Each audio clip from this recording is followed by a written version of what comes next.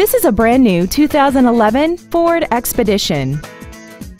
This SUV has a 6-speed automatic transmission and a 5.4-liter V8. Its top features include air conditioning, an auto-dimming rearview mirror, external temperature display, leather steering wheel trim, a multi-link rear suspension, a trailer hitch receiver, running boards, traction control and stability control systems, a four-wheel independent suspension, and power adjustable gas and brake pedals enable you to change their height and distance to fit your body rather than you fit to their positions. Please call today to reserve this vehicle for a test drive. Buster Miles Ford is dedicated to doing everything possible to ensure that the experience you have selecting your next vehicle is as pleasant as possible. We're located at 1880 Almon Street in Heflin.